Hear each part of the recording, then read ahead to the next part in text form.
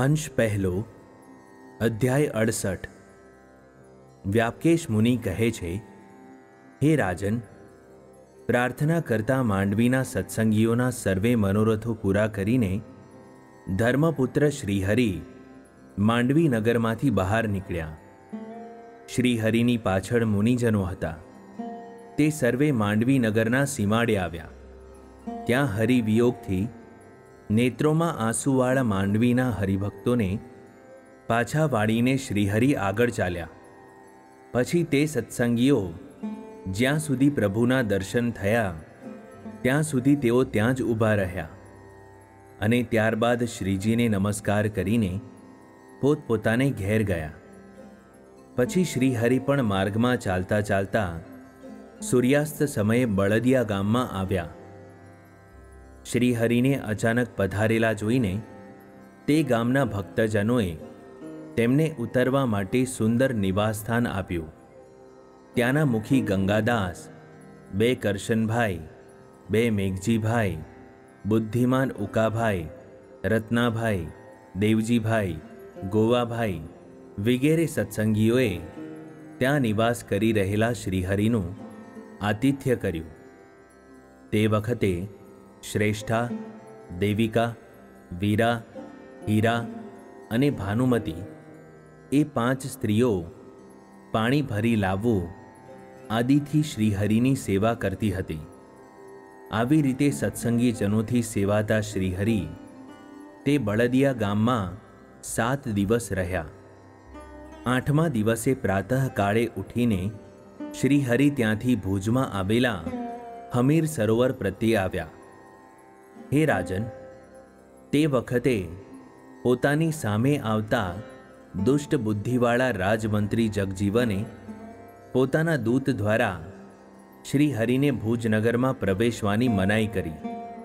તેથી શ્રી સ્વામિનારાયણ ભગવાન ત્યાંથી પૂર્વ દિશામાં આવેલા અને વિવિધ પ્રકારના વૃક્ષોથી વ્યાપ્ત ચબરા મંડપ નામે સ્થાનમાં ગયા. ત્યાં વિશાળ ચોગાનમાં સભા કરીને તારા મંડળના મધ્યમાં ચંદ્રની માફક મુનિમંડળથી વીંટળાયેલા શ્રીહરિ મોટા આસન ઉપર બિરાજમાન થયા. ત્યાર પછી સુંદરજી આદિ સર્વે ભુજનગરના હરિભક્તો શબરા મંડપમાં શ્રીજી પધાર્યા છે. તેમ જાણીને શ્રીજીને અર્થે હાથમાં ભેટ સામગ્રીઓ લઈને તત્કાળ સહકુટુંબ ત્યાં આવ્યા. પછી ગંગારામ આદિ ભક્તજનોએ શ્રી હરિના દર્શન કરી સાષ્ટાંગ દંડવત પ્રણામ કર્યા અને અનેક પ્રકારની ભેટ સામગ્રીઓ શ્રી હરિને અર્પણ કરી. શ્રી હરિએ સર્વેનો યથાયોગ્ય સત્કાર કર્યો. ત્યારબાદ સુંદરજી અને ગંગારામને આગળ કરીને સર્વે હરિભક્તો સભામાં બેઠા. ત્યારબાદ સુંદરજીના અતિ આગ્રહથી ઉદાર મનવાળા શ્રીહરિ તે શબરા મંડપથી સુંદરજીને ઘેર ગયા અને ત્યાં ગુપ્તપણે રહ્યા અને સર્વે મુનિઓ, સર્વે જીવોના કલ્યાણ અર્થે શ્રીજી આજ્ઞા પ્રમાણે ત્યાંથી જુદા જુદા ગામોમાં વિચરણ કરવા ગયા. સુંદરજીના ઘેર નિવાસ કરી રહેલા શ્રીહરિએ તે વખતે માર્ગમાં આવતા શતાનંદ નામના શ્રેષ્ઠ મુનિને જોયા. પ્રફુલ્લિત, લાલ કમળ સમાન ચરણ કમળવાળા અતિ પુષ્ટ જંઘાઓવાળા ગોળાકાર જાનુવાળા હાથીની સુંડ સમાન સાથળોવાળા ગોળ ગંભીર નાભીવાળા આજાન બાહુ તપસ્વી શ્યામ શરીરવાળા મૃગ ચર્મ ધારણ કરેલા પીળી જટાવાળા દુર્બળ દેહવાળા સુખાનંદાદી સાધુઓએ સહિત અને મસ્ત હાથીની માફક ચાલતા શતાનંદ મુનિને શ્રી હરિએ જોયા, હે રાજન, માન આદિક વિકારોથી રહિત, તે પ્રભુએ શતાનંદ મુનિને પોતાની સમીપે આવેલા જોઈને તત્કાળ આસન ઉપરથી ઉઠીને તેમની સામે જઈને તેમને પગે લાગ્યા. તેથી શતાનંદ મુનિ શ્રીહરિને ભેટીને એકાગ્ર દ્રષ્ટિથી ઘડીભર શ્રીહરિને જોઈ રહ્યા અને પછી દેહની સ્મૃતિ લાવીને શ્રી હરિને પ્રણામ કરીને પોતે તેમની સમક્ષ ઊભા રહ્યા. પછીથી પોતાને પ્રેમથી સાષ્ટાંગ દંડવત પ્રણામ કરતા અન્ય મુનિઓને પણ શ્રીહરિ પ્રેમથી મળ્યા અને ત્યારબાદ પોતાને આસને બિરાજ્યા. પછી સ્વસ્વરૂપમાં જ આનંદ પામનારા ભગવાન શ્રીહરિને શતાનંદ આદિ સર્વે મુનિજનો ફરી વખત પ્રણામ કરીને તેમની સમક્ષ તૃણની વિશાળ સાદડી ઉપર બેઠા. સુંદરજીએ સર્વેનું આતિથ્ય કર્યું. ત્યારબાદ ઉદાર ચિત્તવાળા શ્રીહરિએ શતાનંદ મુનિને કુશળ સમાચાર પૂછ્યા. પછી શ્રીહરિ શતાનંદ મુનિ પ્રત્યે બોલ્યા કે, ભગવાન બોલ્યા, હે સાધુ, તમારા દર્શનથી મને ઘણો આનંદ થયો છે.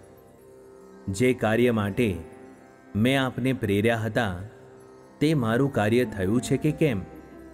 વ્યાપકેશ મુનિ બોલ્યા, હે રાજન, જે કાર્ય માટે શતાનંદ મુનિ શ્રીહરિથી દૂર ગયા હતા, તે કાર્ય મેં સિદ્ધ કર્યું છે.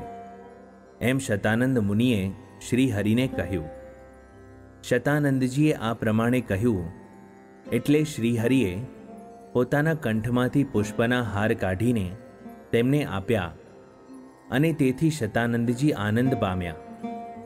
ત્યાર પછી કેટલોક સમય તેઓ પ્રભુની પાસે રહ્યા અને ત્યારબાદ પ્રભુની આજ્ઞા લઈ ત્યાંથી બીજા સ્થળે, એટલે કે બદ્રિકાશ્રમમાં ગયા.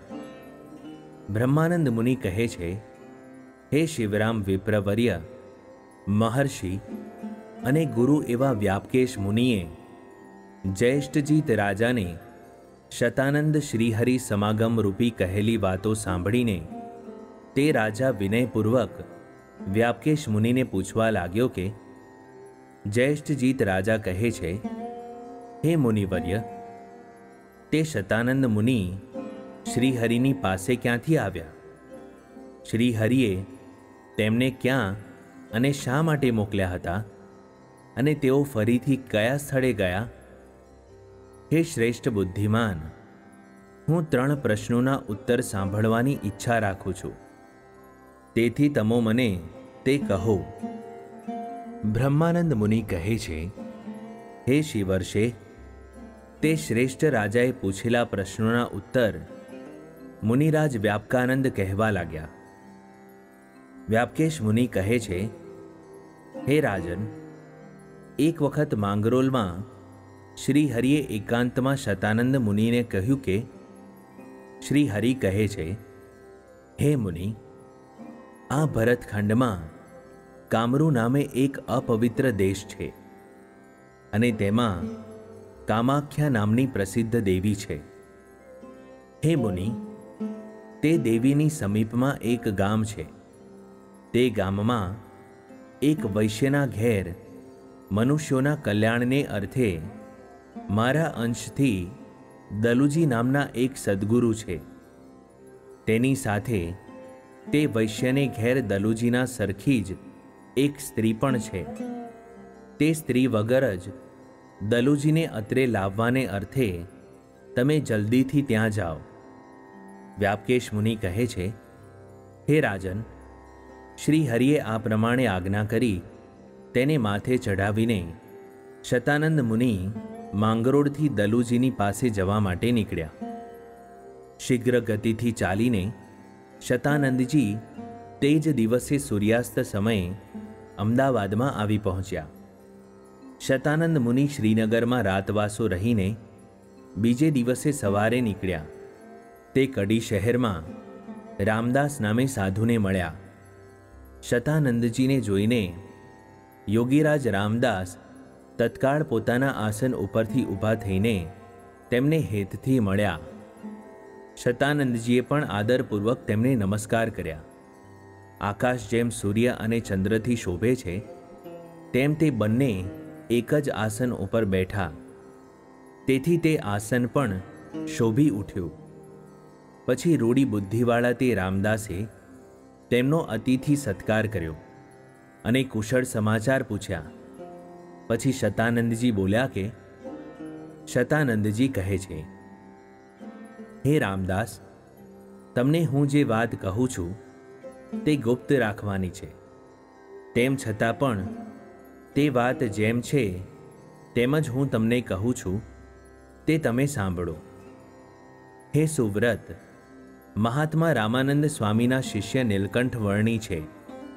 તે સ્વયં રાધિકાજી અને લક્ષ્મીજીના પતિ શ્રી કૃષ્ણ જ છે. એમ તમે નિશ્ચય જાણો. કેમ કે તે વર્ણી સદાય ષડેશ્વર્ય યુક્ત જ છે. તે નીલકંઠ પ્રભુના માત્ર એક જ વખત દર્શન કરવા માત્રથી જ હું આ બ્રહ્માંડની અંદર અને બહાર સ્વતંત્રપણે નિરાવરણ વિચરી શકું છું. માટે તમે પણ સાક્ષાત નીલકંઠ વર્ણીને જ પ્રીતિથી ભજો. નિરંતર એમનું જ ધ્યાન ધરો. નિરંતર એમની આજ્ઞામાં જ વર્તો અને પ્રસન્ન રહો.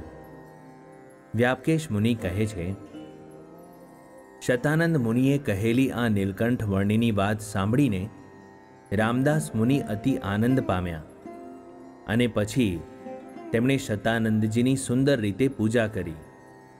પછી રામદાસે હાથ જોડીને શતાનંદજીને કહ્યું કે, હે મુનિ, જેમ તમે કહો છો તેમ હું પણ નીલકંઠ વર્ણીને સાક્ષાત પુરુષોત્તમ જાણું છું.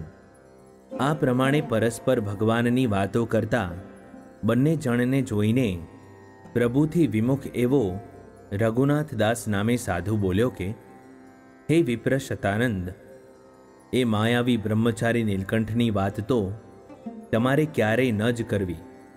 કેમ કે તેની વાત કરવા માત્રથી જ મનુષ્યની બુદ્ધિ ભ્રમી જાય છે. હે રાજન, સમગ્ર મનુષ્યોના ગુરુ રામાનંદ સ્વામીના કુબુદ્ધિવાળા શિષ્ય રઘુનાથ દાસે આ પ્રમાણે કહ્યું, તેથી શતાનંદજીએ ભગવાનની વાતો બંધ કરી. ત્યાર પછી તેમણે ભગવાનના કીર્તનો કરીને રાત્રિએ મૃગચર્મ ઉપર શયન કર્યું. ઇતિ શ્રી સત્સંગી ભૂષણમાં, નારાયણ ચરિત્રમાં, વાસુદેવીય ભક્તિશાસ્ત્રમાં પ્રથમ અંશમાં વ્યાપકેશ જયેષ્ઠજીત સંવાદમાં શતાનંદ રામદાસ સમાગમ નિરૂપણ નામે અડસઠમો અધ્યાય સંપૂર્ણ.